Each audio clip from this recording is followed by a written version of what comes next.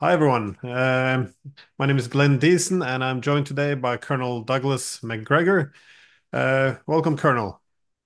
Happy to be here, Glenn. I was yeah hoping today we could talk about uh, all the developments we now have in the Ukraine war, but I really wanted to ask you first about uh, the Middle East as uh, the war is now expanding from merely being in Gaza to now Uh, having huge escalations between uh, Lebanon and Israel. And uh, well, I was, it seems almost as if any hopes of avoiding a greater war in the Middle East now, uh, well, it seems almost like foolish optimism. Uh, well, hopefully I'm wrong. So I was wondering, how do you see the current developments taking place? And well, what is the role of the United States as hmm. this war escalates? Well, the role of the United States is to unconditionally support whatever the Israeli government wants to do, and more specifically, Prime Minister Netanyahu. So I think that's our role, like it or not. That's where we stand. I, I think it's important to uh, pause for a second and understand just really where we are now. You talked about escalation. Well, that's very definitely the case. The Israelis have now dramatically escalated their attacks on southern Lebanon it looks as though these uh, bombing runs are a preparation for a ground assault. And uh, that's that's extremely important because I think the real strategic inflection point will come with the Israeli invasion of southern Lebanon. Now, will that be a full scale invasion or a series of short raids on the ground over the border? I have no idea. Uh, but I think the ground force is being ready to go in. Now, keep in mind that the reserve ground forces, in other words, those people that are only mobilized uh, in the event of an emergency or war, the reservists are controlling Gaza, the reservists are controlling the West Bank, so that the so called regulars, the core of the Israeli force, are up north. These are the best brigades, the best organizations and I think they're they're performing reconnaissance on the ground, uh, battalion commanders, brigade commanders, looking at the approaches, where they'll go in, and what they'll do. This is very important because, quite frankly, despite the enormous efforts undertaken from the air and with missiles against uh, southern Lebanon, uh, they really haven't succeeded in doing a great deal of damage to Hezbollah. Hezbollah is actually prepared for these assaults. And I think uh, once the Israelis go in on the ground, that will probably be the trigger for Iran to take a greater hand. Thus far, Iran has stayed out of it, kept out of it. Uh, Iranians know that the uh, Hezbollah fighters are extremely well armed and prepared. But once the Israelis commit on the ground, I think that will be judged as a turning point. Now, what does that mean? Will Iran jump in with both feet 100%? I, I don't know. The other thing is that from the vantage point of the United States, I think the U.S. armed forces are waiting for the ground assault before they actually engage in support of the Israelis. So that's why I think the idea of Israeli ground forces in southern Lebanon is very important. Now, we had some interesting developments over the last 24 hours beyond just bombings we now have Israeli aircraft, an F 15, at least one, that has landed in Cyprus because of damage inflicted on Israeli airfields. That's very important because both Hezbollah and Turkey have warned that if the Israelis utilize Cyprus, that they will regard that as part of the war zone.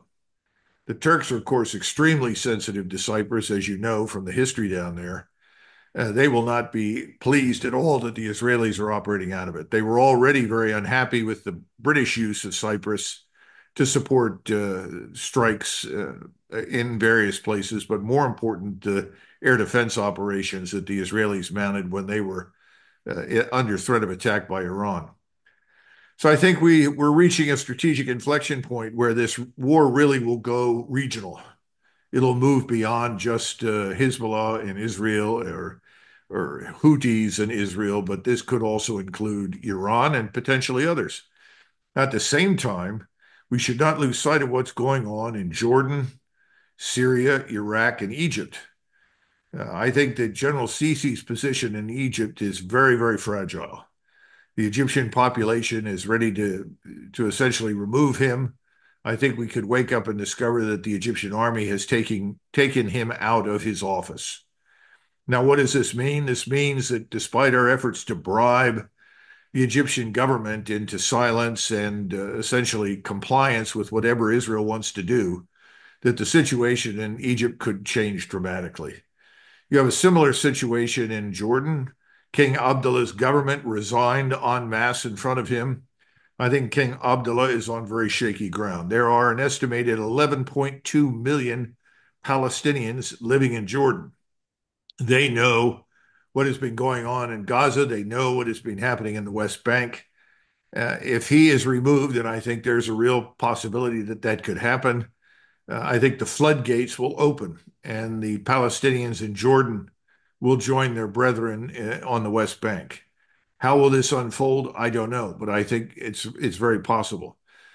Remember that we also have somewheres between five and nine thousand American soldiers in Iraq, Syria, and Jordan.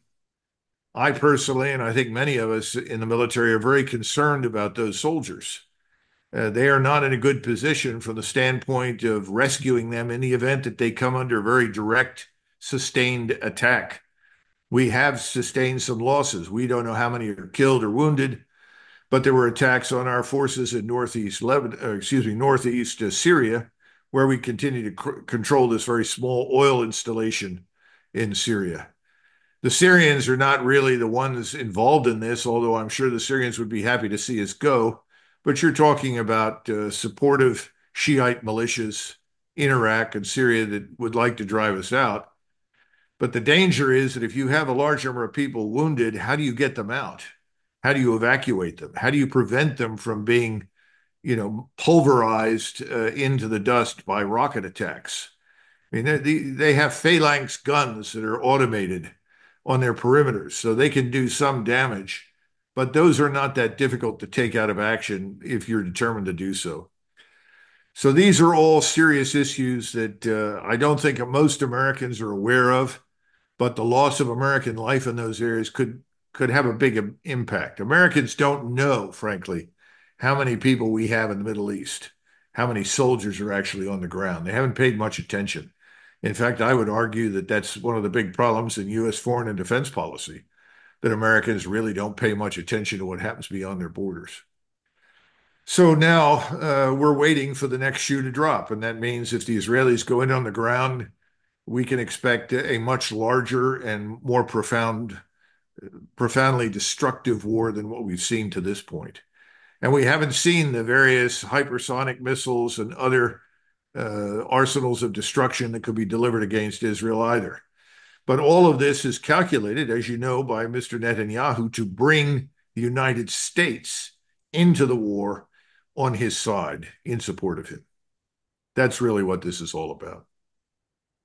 Yeah, that was my follow-up question. Uh, what do you think could uh, trigger the United States to enter the war? Because it appears the US, well, the US is happy to supply the weapons. I've seen some reports that uh, the US might have been assisting with drones and other intelligence for striking Lebanon.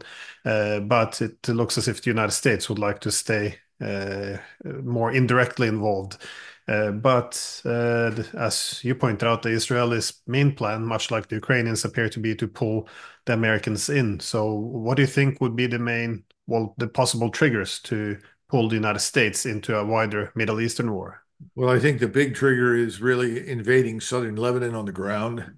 that is likely to attract uh, Iranian attention, which means the Iranians could then conceivably intervene on the side of Hezbollah.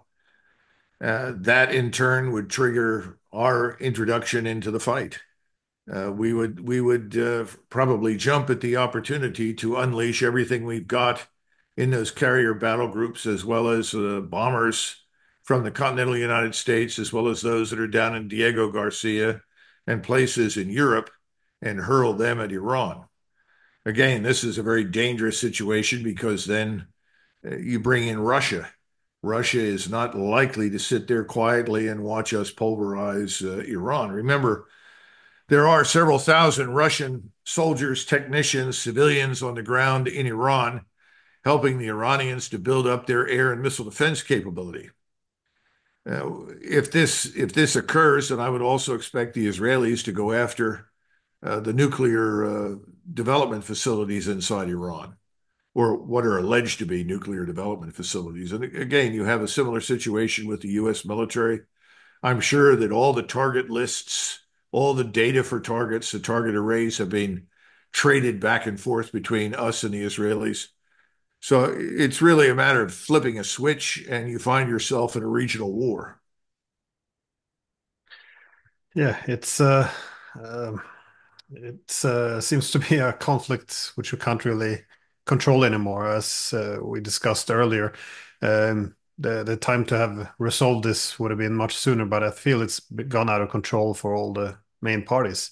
Uh, I want to switch gears a little bit to uh, the United States because you currently have a visitor over there now, um, President Zelensky, who has gone to the United States to present uh, what he refers to as the victory plan.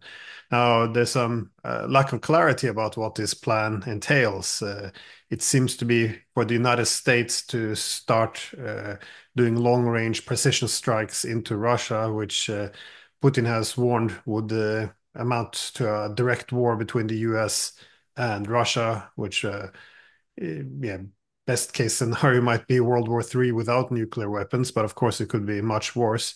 So not only this strikes into Russia, but also NATO membership apparently. So it's it's a bit un unclear what the victory package entails. Uh, the main argument is that this is necessary to pressure Russia to sit down and talk. Uh, which is also a bit dishonest, it seems, because it was uh, the US and UK that sabotaged the Istanbul Agreement in early 2022. Uh, and also Zelensky passed a law banning negotiations with Russia. So it's unclear why uh, why why suddenly it's presented as uh, Russian obstruction uh, being the main problem, uh, given that none of the Western countries have wanted to have, even have diplomacy with the Russians for the past two and a half years. So it uh, it seems mm, unclear what what this is supposed to achieve, but given the high stakes, what do you see? What do you think this victory plan entail? And uh, do you think uh, Washington will give him what he wants? It sounds much more like a sustainment plan, how to keep the war going for a few more months as opposed to victory. because we've had other victory plans submitted in the past. If you go back a year or so, you had this plan for victory. If you can replace all of our losses, and uh, we'll have another major offensive, but you, we need to build a new army. You, you recall this back in 22, 23, 24. We've been down this road before. I don't think this is a victory plan. I think it's just a sustainment plan. How do we keep things going? I, I think that the people in the White House are not enthusiastic about sanctioning long range precision strikes against targets in Russia. I think they understand the, the consequences and I think they're actually looking for a way to quietly retreat uh, from that position. So I think there's a willingness to provide many more things, including artillery ammunition, uh, replenish uh, vehicles. I understand there's an order for 200 Bradleys now uh, to ship uh, to Ukraine, but I'm very skeptical that they will allow these long range precision strikes. And I think that's a good thing, frankly, because I don't think uh, we really want to go to war with Russia, despite uh, our foolish statements and policy positions. Now, that doesn't mean it still couldn't happen. I mean, I've been wrong before, but I think this this is not likely to be the case. I think there's something else going on, though, that's uh, far more important, and that is that the Europeans themselves want to step back from this. So support for this policy is eroding rapidly it's very clear that the Germans want nothing more to do with this, despite what uh, uh, Mrs. Uh, Baerbock may say or other members of the Scholz government. He's on very shaky ground. Uh, the Russians know this, and I think they would welcome change in the Berlin government, which is probably inevitable at this point. I just don't know how soon. Uh, there may be changes in Paris as well, uh, and changes in other European governments on the model of, say, Slovakia and Hungary. Things are not well in Poland. The Polish population is not at all enthusiastic about being drawn into a war. And more recently, you had this attack up near Tver in uh, northwest Russia. And it's interesting if you look at the locations that we struck, or when I say we, I'm talking about the Ukrainians, and we don't know where they were launched from. I've heard different theories, uh, something about Latvia having been a base for the launch of these uh, unmanned combat aerial vehicles against uh, uh, this ammunition storage area. But if you look at the radar coverage, our data undoubtedly was provided to the Ukrainians, showing them that they had a good chance of getting in there and inflicting damage without necessarily electrifying or signaling the entire air and missile defense network. Now, how much damage did they do? I don't think it's nearly on the scale that the Ukrainians have had hoped for. Uh, and it certainly has not set back Russian uh, munition production. Uh, they undoubtedly found some Iskander missiles that could be detonated, and that helped to explain the giant fireballs and explosions, along with lots of artillery ammunition. I'm told some of it came from North Korea. Uh, who knows? But uh, the bottom line is it was a flash in the pan, not a game changer by any means. It's not going to slow the Russians down or inhibit what's happening down in Ukraine. And we know that in Ukraine itself, the, the front continues to crumble and the regime in Kiev is uh, on the verge of collapse. There's no question about that. Uh, and I think the Russians know it, and they're proceeding cautiously as they have thus far because they too don't want a war with NATO or the United States. So I think if there's any good news in all of this, uh, I think it is that both sides, Washington and Moscow, really don't want to go to war with each other in eastern Ukraine. And the question is, how do you how do you get past the current impasse? In other words, how do you move beyond where we are now? And there there are undoubtedly debates in Moscow about uh, do we destroy several city blocks in Kiev and then move forces over the river and into Kiev itself? I don't know. Again, I think Mr. Putin has never wanted that. He does not want to govern Western Ukraine. He would like Western Ukraine, if it's going to retain its independence, to be Austrian like. And I think there are people ready to accept that in Europe. The sticking point, of course, is London and Washington. There, there's no willingness at this point to compromise. However, I suspect that Moscow anticipates that might change after the election, regardless of whomever is elected. So I think the real bad news, the, the real danger point is in the Middle East now, much less the case in Ukraine. And uh, I think there's a healthy respect for the hypersonic missile arsenal that the Russians have and the enormous damage they can inflict. You know, you're talking about missiles flying somewhere between 4,500 miles an hour to six or 7,000 miles per hour, carrying enormous warheads, 1,500, 1,700, 2,000 pounds and of course, when you move at that speed, the impact of the of the warhead is that much greater than it otherwise would be.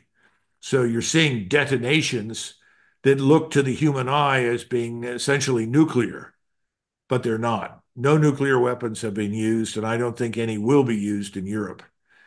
On the other hand, the, the Iran, excuse me, the Israelis have nuclear weapons. And I don't think we can rule out the potential use of those weapons depending on the circumstances. So that that's again, you have two very different situations. And I think the Middle Eastern one is far more dangerous to us right now than what's happening in Eastern Ukraine. That does not mean that it could not change quickly if someone does something exceedingly stupid. And one of the things that people do worry about, I think, in Washington as well as Moscow, is the sort of outside possibility that some stupid thing is done by the Ukrainians over and above and in spite of any guidance or wishes we may express. But barring that, I, I think the war in Ukraine has a good chance of coming to an end by the end of the year simply because of all the events that I mentioned changes in Europe, changes in Ukraine, and the advance of Russian forces. The real question is how do we avoid a larger conflagration at this point in the Middle East? And as you pointed out at the beginning, that looks less and less avoidable. Well, it certainly looks like the the front line continues to crumble. It's been doing it for a while, but it appears to intensify. There's a lot of eyes, of course, on uh, Pokrovsk, but as we've seen over the past uh, two days, uh, is also falling apart, uh, Chasiv Yar, and the thing is, after especially Pokrovsk and Chasiv Yar, there's not much fortifications anymore once you start going west. So, uh, so with the economic problems. Uh, the the manpower problem, running out of weapons, also the inability of the West to send any. It doesn't seem that there's many ways to uh, push back anymore besides escalating with these uh, efforts to take the war into Russia, which there has been some enthusiasm to do. But uh, we saw with Kursk, this uh, yeah. has been a spectacular failure, and uh, or, or, even these attacks on the weapon depots. It's it seems very. It's hard to imagine that this was pulled off by the Ukrainians alone. As you said, obviously they had some assistance with uh, circumventing uh, where the heavy radar was, but. Well, the uh, Russians have a, a number of these, uh, a large number of these munitions storage areas. Uh, I think the Ukrainians, thanks to our intervention, the use of our ISR, space-based intelligence, surveillance, reconnaissance, got lucky in Tver but I don't think that uh, we should expect much of that in the future. And I know that, for instance, the air, air and missile defense coverage has already been adjusted uh, to ensure that something like this is not repeated. But I think your point is is very valid. The, the the electrical grid is essentially destroyed. The logistical infrastructure to sustain and supply the forces in eastern Ukraine is gone. So it's over for all intents and purposes. And you know, frankly, this war was lost a long time ago. But we're now up to what, 600,000 dead Ukrainian soldiers. I don't know how many civilians, but that's an enormous number. That's World War I level of casualties. That compares favorably to three years on the Western Front between France, Britain, and uh, and Germany, or for that matter, even the Eastern Front against Russia at that time it's catastrophic. And then again, we still have all the various interested parties that can't wait to move into Ukraine, like BlackRock and others, to gain control of the place. Uh, and I don't know how that turns out.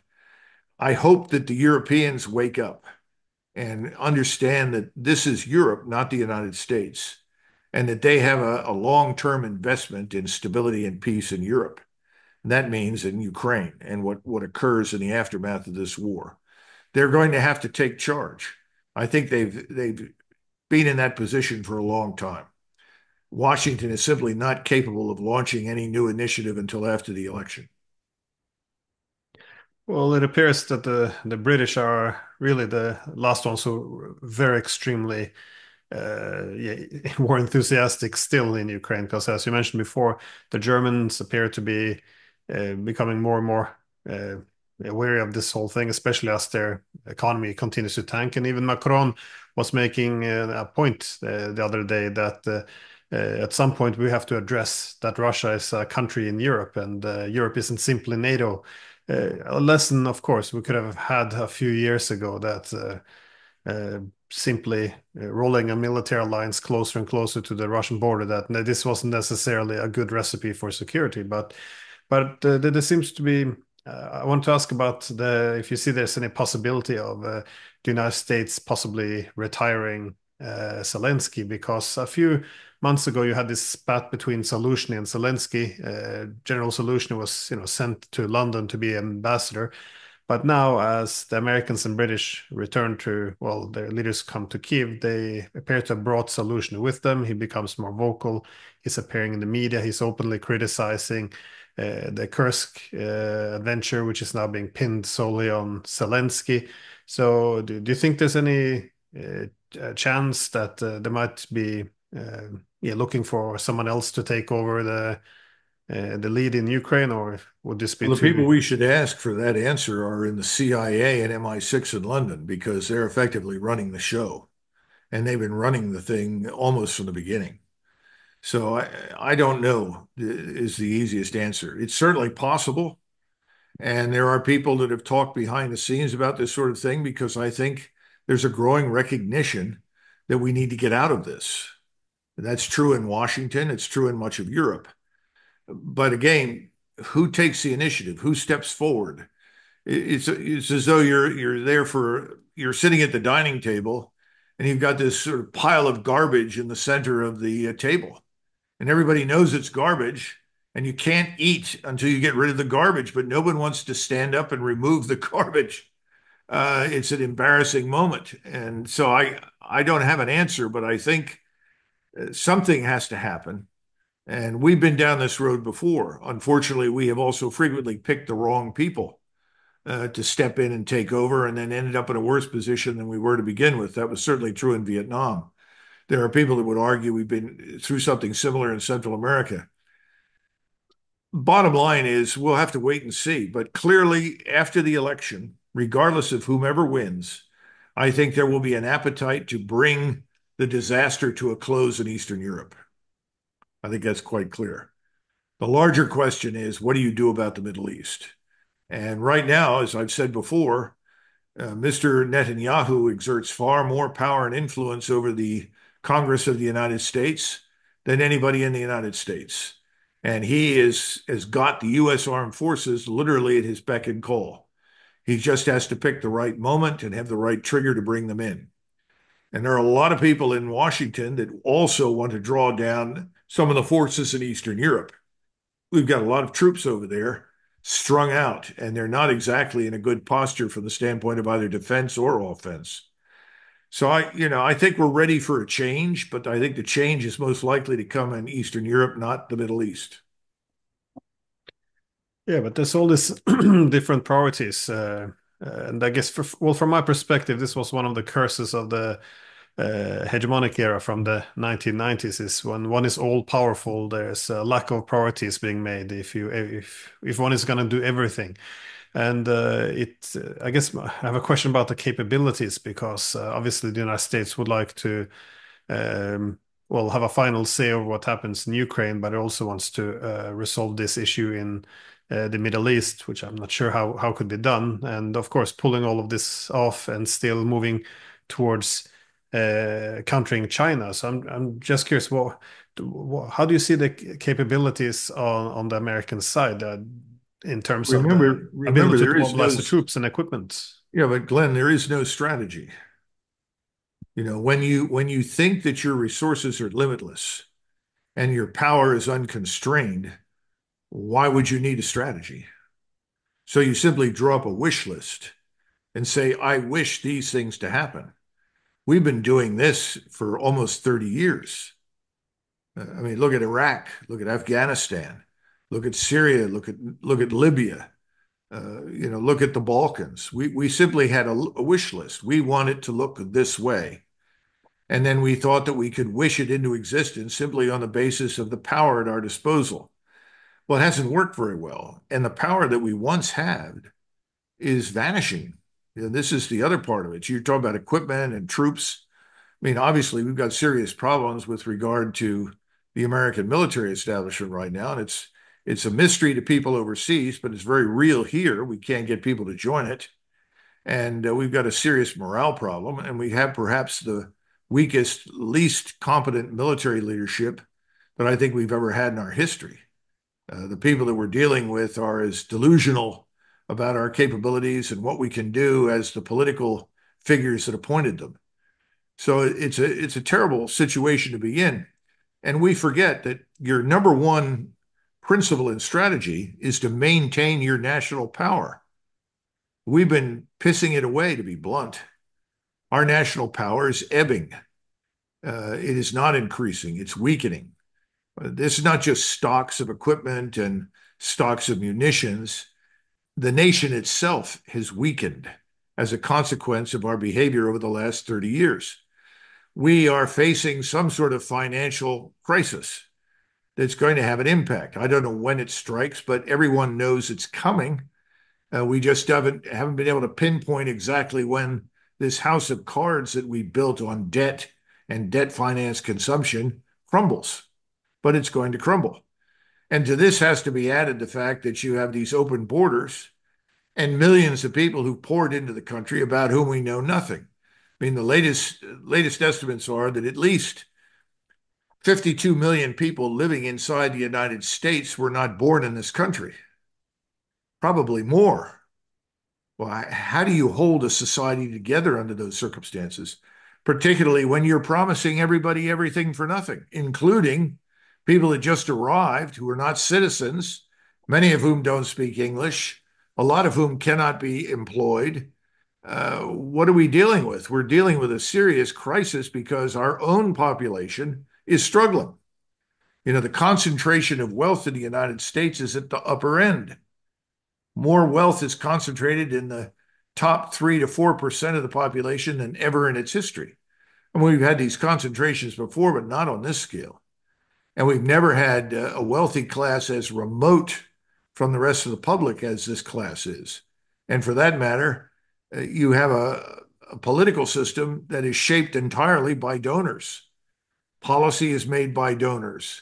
And if you want to survive and be successful in Washington and leave as a multimillionaire, you pay attention to donors. And that's what we've got. We have a donor dominated government. So the republic itself is on very, very feeble ground.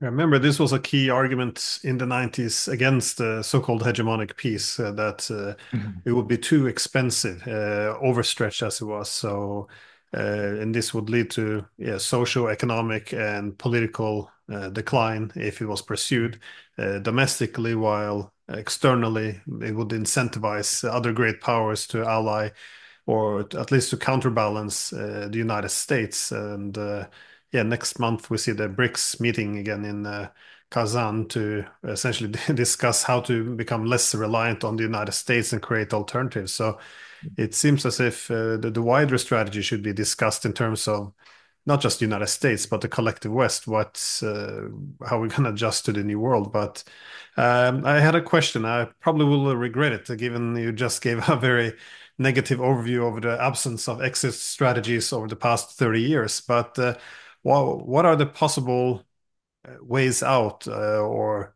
peace settlements in uh, both in the Middle East as well as with uh, Ukraine, given that, uh, well, so far we haven't taken any of the opportunities. But if there will be an opportunity to resolve this somehow, a diplomatic solution, what what might it look like? I think a diplomatic solution, if one is crafted at all, will have to be crafted by the Europeans and the Russians. Now, when I say Europeans, I suspect that that will involve some of Russia's neighbors. will certainly have to involve Berlin I don't think we can craft a solution. We have no credibility whatsoever in Moscow. We've lied to them about everything imaginable over the last 30 years. Why would they listen to us at all? I think what will happen is at some point we will simply suspend all further military aid to Ukraine. That will that will simply come to an end. Then the next step will be to withdraw all U.S. personnel in other words, citizens and soldiers, everyone who's on the ground, get out. Uh, that will happen. Now, when will that happen? That could happen after the election, depending upon who wins, because of the recognition that we simply can't afford to sustain, you know, this this uh, throwing of money into a, a bottomless pit with no return on the investment. But you know, people always ask, when did the British leave India? Well, they left India after World War II when they were effectively financially broken, and their debt to GDP ratio was 240%. I think that's what we're facing now. Something similar in the on the US side. So it's not going to be a consequence of some seriously considered analytical framework that is embraced for a diplomatic solution. We'll just get out, recognizing that we really can't influence what happens next. Now, the Middle East is a little different, but that's what I think will happen in uh, in Eastern Europe. The Middle East is a, is a place you can't predict because we don't know what losses we may sustain down there. Uh, we we have a lot of forces that are potentially in harm's way. Uh, if we begin to lose forces, whether they're on the ground, I talked about the soldiers that are on the ground, or it happens at sea, there are going to be some hard questions asked back in the United States. There's a big difference between losing 10 or 12 people every other week and losing perhaps a thousand or more in a day. Uh, that's what we've learned historically. So I, I don't know that uh, the Middle Eastern thing will come to a close as a result of some wisely crafted strategy either. Uh, it's very difficult to walk in at the end of an open-ended conflict when you've had no real strategy and your end state was never achievable. In other words, was unrealistic, and then trying to find a way out. Politicians all have difficulty retreating from outrageous statements. And we have politicians that have made outrageous statements. So do the Germans. So do the French. So do the British. So have yours. All made ridiculous statements that could never, ever be realized in practice. How did they stand up and say, oh, I guess we were wrong? Nobody does that. So the predisposition will be to change the subject and walk away.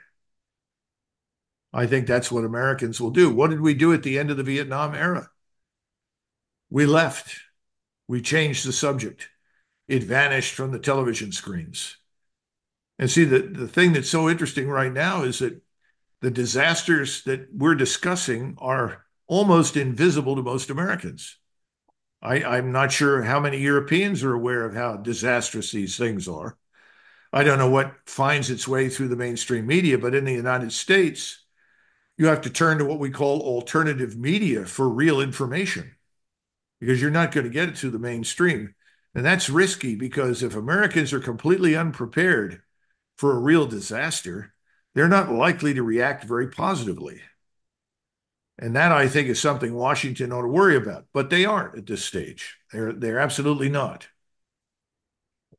I couldn't agree more. I think the absence of a proper media coverage is one of the main reasons why we hadn't had any course correction. At least here, the media still talks about how uh, Ukraine can win if we only, you know, allow them to hit uh, the Russia. Uh, uh you know, seemingly uh, us having no role in this. Uh, but I find the, the suggestions for peace coming out uh, from the West to be a bit strange because they're always based on the idea that let's escalate a little bit more so we pressure uh, you know the Russians to sit down. But it feels as if on, at the most they will accept a ceasefire along the current uh, lines, but without recognizing any territorial uh, concessions.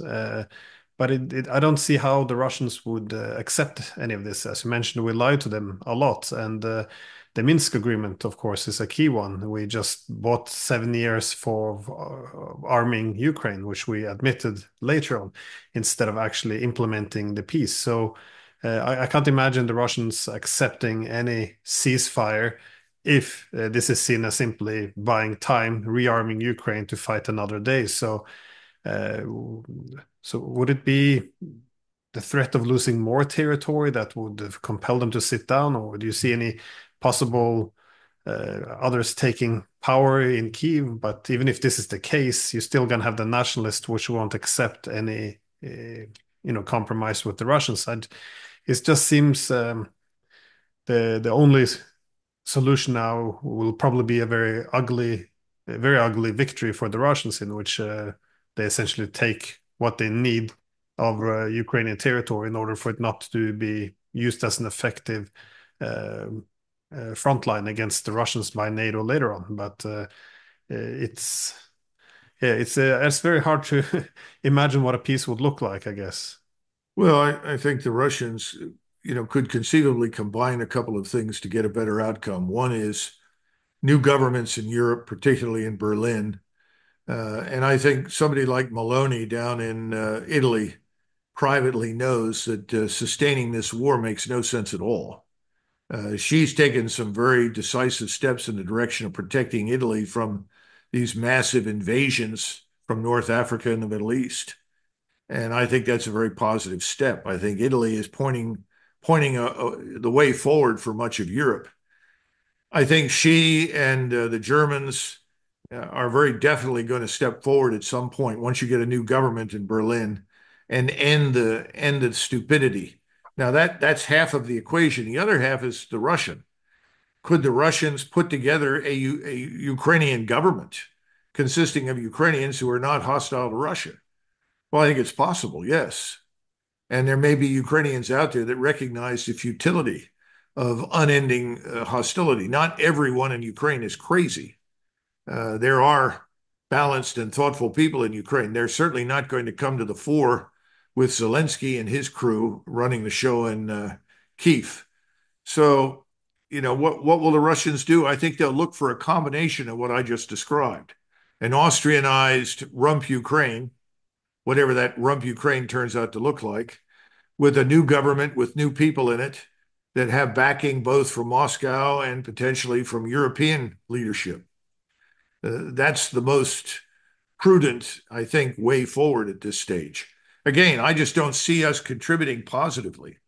Uh, it's it asks us to admit to failure, and we are just disinclined to do that. We're, much more likely to turn our attention instead to the Middle East and continue to make that place into a mess, uh, because I don't see us exercising any any restraining influence over Netanyahu at this stage. Yeah, well, it's um, it just seems difficult to walk away from Ukraine because it's not even from 2014. It's important to remember that it's now 20 years ago since the Orange Revolution in 2004, and uh, in which we tried to pull Ukraine into the NATO orbit. But then, when the uh, Ukrainians were allowed to vote, as we saw in 2010, they voted in Yanukovych. Uh, but then, of course, we got rid of him in 2014. So we've been playing this game for a very long time. It just doesn't it seems uh, well difficult to imagine that we're willing to walk away completely from this uh, project Ukraine.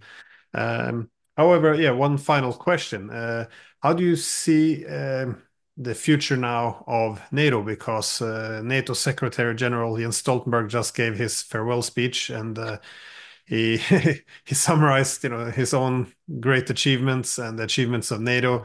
Uh, effectively, it was quite interesting because he didn't refer anything to the security competition or how actually anything would enhance security. Instead, uh, achievements was effectively that we now have thousands of troops on the eastern flank uh, on the Russian border.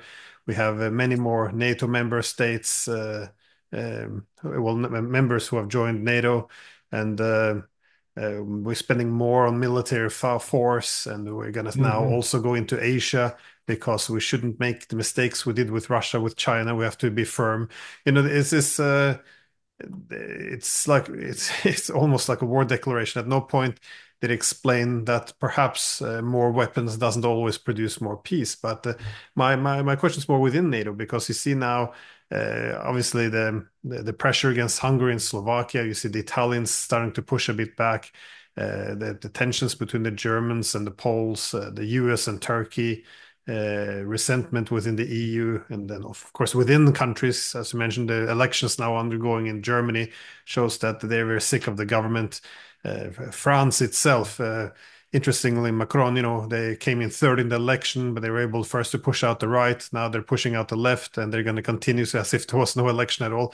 things seem to be getting more and more chaotic. So. Uh, do you do you share Stoltenberg's optimism, or do you see this uh, this greatness of NATO to uh, falter over the next few years? I think Stoltenberg is uh, waving goodbye from the stern of the Titanic. Uh, NATO is finished. It's not a question of whether it will crumble and vanish. It's a question of when. All of the forces that you just described are going to tear it to pieces.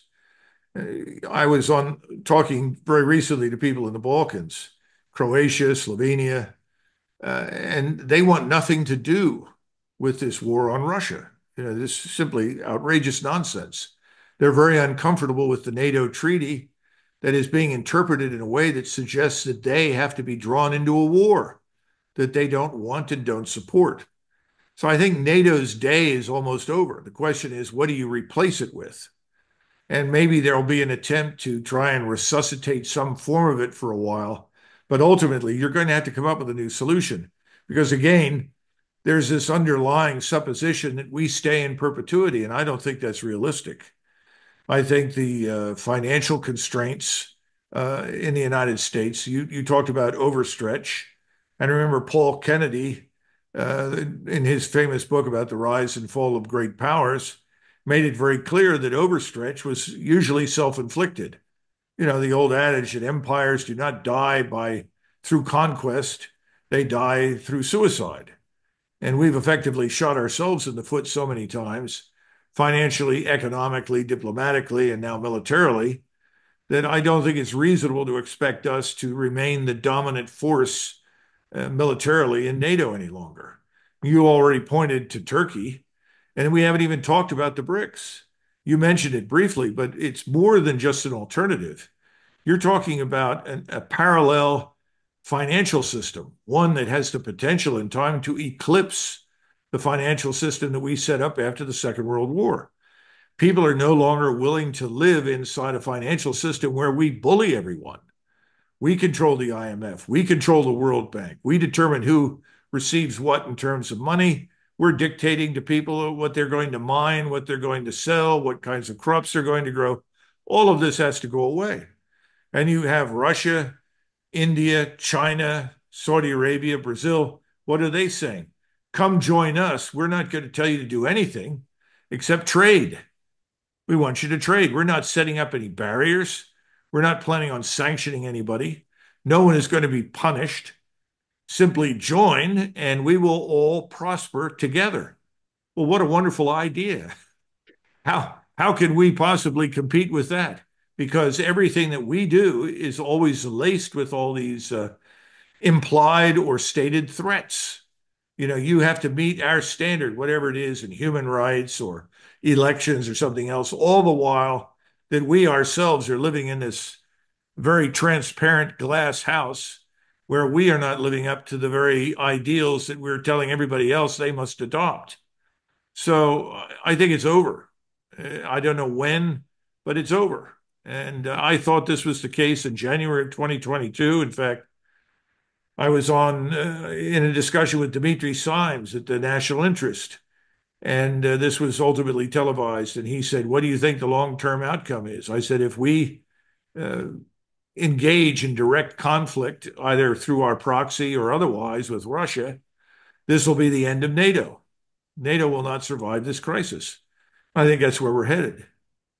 Now, if you're a Russian, that's a double-edged sword because on the one side, you don't like NATO, but it's one of these situations where at least you know what you're dealing with.